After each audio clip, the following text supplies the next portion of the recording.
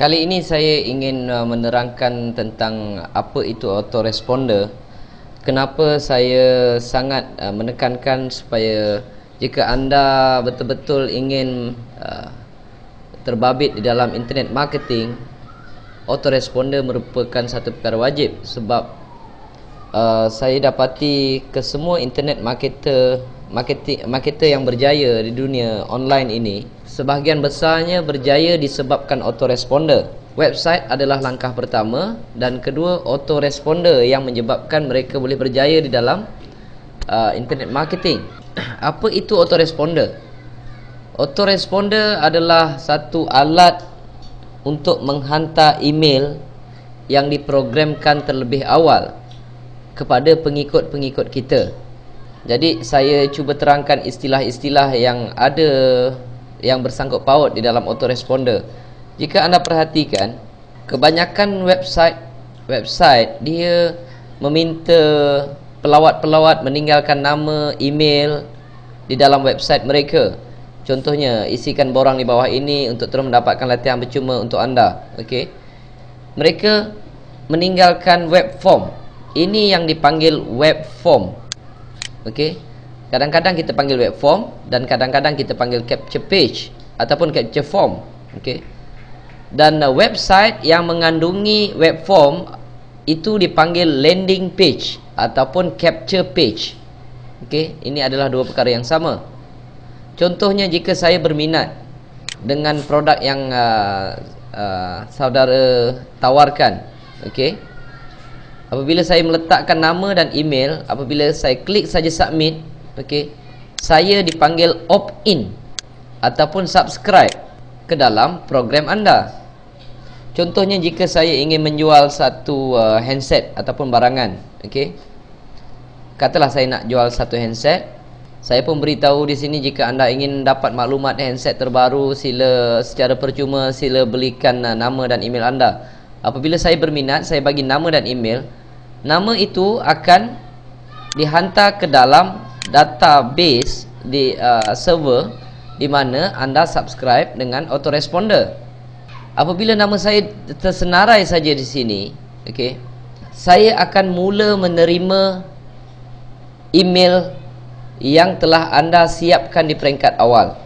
Email-email yang disiapkan di peringkat awal itu dipanggil Kadang-kadang dipanggil email follow up, kadang-kadang dipanggil newsletter, kadang-kadang email marketing dan kadang-kadang dipanggil email campaign. Ini empat-empat perkara ni, empat-empat nama ni adalah benda yang sama. Okey. Contoh dia, sebelum saya mempunyai subscriber lagi, sebelum saya mempromosikan landing page saya lagi, saya telah menyiapkan email yang banyak contohnya. Pada peringkat awal mungkin saya siapkan 10 email menerangkan tentang produk yang ingin saya jualkan. Contohnya macam handset tadi. Saya pun cerita di peringkat awal ini uh, tentang uh, produk tersebut. Kedua mungkin saya cerita pasal uh, benefit of the product. Kelebihan produk tersebut. Saya panggil BOP. Okey. Yang ketiga mungkin saya cerita pasal uh, testimonial. TOP, testimonial of the product. Saya pun ceritalah ada seorang pak cik lah katakan pakai handset ni dia cukup bagus dia pun cerita perkara-perkara yang baik tentang headset ni. Yang keempat saya propose. Propose of the product. Saya propose untuk orang beli. Jika anda berminat sila klik di sini. Saya pun bagi URL yang telah saya siapkan terlebih awal supaya orang be boleh beli handset ini. Ok? Dekat mana dia nak beli macam mana dia nak bayar dan sebagainya. Email kelima mungkin saya kembali kepada benefit of the product benefit yang lain pula kelebihan handset ini dia boleh digunakan sebagai remote lah katakan boleh digunakan sebagai remote television apa-apa sajalah anda boleh tulis dan anda boleh siapkan. Dan kembali testimonial. Kembali kepada propose. Dan saya ulang-ulang perkara ini berkali-kali dengan benefit yang berbeza-beza testimonial yang berbeza-beza dan saya ulang supaya orang membeli handset tersebut jika saya siapkan mungkin sampai 60 email. Saya belum ada subscriber lagi belum ada pengikut lagi. Apabila email ini telah disiapkan okey email ini telah disiapkan barulah saya buat satu website yang mempromosikan handset tersebut dan saya siapkan satu web form di bawah ini. Jika ada pelawat yang masuk kalau kita tak tinggalkan web form mungkin dia terlupa. Mungkin dia nak beli tapi duit tak ada gaji tak masuk lagi. Dan apabila gaji masuk dia pun dah lupa nama website anda. Jadi anda terlepas seorang customer. Tetapi jika anda ada web form dia berminat dia pun nak beli dia pun merancang untuk nak beli. Dia masukkan nama dia masukkan email. Apabila dia opt in sahaja nama dia masuk sini maka autoresponder ini akan menghantar setiap hari satu email. Tiap-tiap hari satu email. Ini kita boleh setkan. Tiap-tiap email ni kita boleh setkan uh, selang sehari selang dua hari bergantung kepada cara kita setting. Anda bayangkan kalau tiap-tiap hari dia dapat email sooner or later tak cepat lambat dia akan beli juga produk tersebut. Ini kekuatan autoresponder dia panggil nama lagi kalau orang tu register sebagai Ali lah katakan. Dia akan panggil nama Ali. Kali ini saya ingin menerangkan tentang benefit produk tersebut. Okey. Orang ni uh, akan berasa seronok kerana dipanggil nama. Padahal bukan kita yang buat lagi dah. Autoresponder yang menghantar. Kita hanya luangkan masa untuk buat email campaign ini sekali je. Dan kemudian kalau kita nak tambah lagi boleh tambah. Sekiranya ada uh, selang beberapa hari ada orang lain yang subscribe. Masuk saja nama dia sebagai orang yang kedua, ketiga, keempat. Mereka tetap akan memulakan sorry, mereka akan tetap dapat bermula dari email nombor satu nombor dua, nombor tiga, nombor empat dan seterusnya. Jadi pada hari yang sama semua subscriber ini tidak akan menerima email yang sama.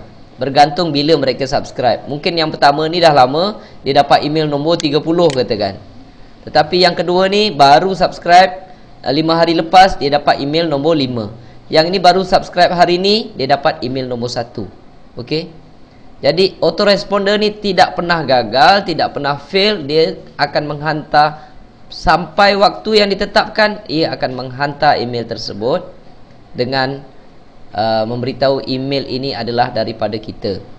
Okey. Jadi saya tak nampak kalau anda tak ada autoresponder, saya tak nampak macam mana kita boleh berjaya di dalam internet marketing. Okey. Itu adalah mengenai autoresponder. Okey. Dan satu lagi kelebihan menggunakan autoresponder, kalau anda ada ramai subscriber, contohnya sampai 10,000, okey.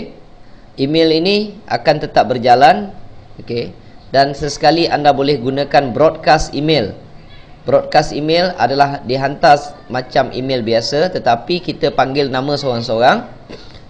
Hanya dengan satu klik je dia akan panggil nama seorang-seorang dan semua 10,000 ini dapat serentak. Jadi perbezaan broadcast email dengan email uh, campaign tadi email campaign akan mendapat mengikut sequence bila mereka register ataupun bila mereka opt in. Tetapi broadcast email pada hari yang sama kalau kita hantar semua serentak dapat. Contohnya kalau kita hantar uh, saya akan mengadakan rumah terbuka esok. Jadi itu tidak sesuai untuk masukkan dalam email campaign okey dia akan masuk ke dalam uh, kita perlu menggunakan broadcast uh, email. Okey dan uh, untuk setting email anda perlu tahu beberapa perkara. Pertama di manakah nak letakkan email camp, uh, email campaign tersebut atau nama. Sorry nama kempen tersebut. Anda perlu tahu nama kempen tersebut. Okey dan kedua confirm opt in jika ada orang bagi nama dan email kita perlu sahkan email yang diberikan adalah betul. Dan kedua anda perlu tahu di mana nak letakkan email kempen. Okey. Yang keempat anda perlu tahu di mana nak nak nak gunakan button untuk menghantar broadcast email. Dan kelima di mana nak ambil web form ini. Dan satu autoresponder boleh kita gunakan untuk berbagai-bagai kempen. Untuk berbagai-bagai kempen. Dan uh, autoresponder company di dunia ini banyak. Uh, contohnya macam traffic wave get response aweber. Dan di sini saya menggunakan traffic wave okey? Dan nanti saya akan ajarkan bagaimana untuk setting menggunakan traffic wave. Dan uh, saya harap anda betul-betul faham kenapa sangat pentingnya autoresponder ini. Terima kasih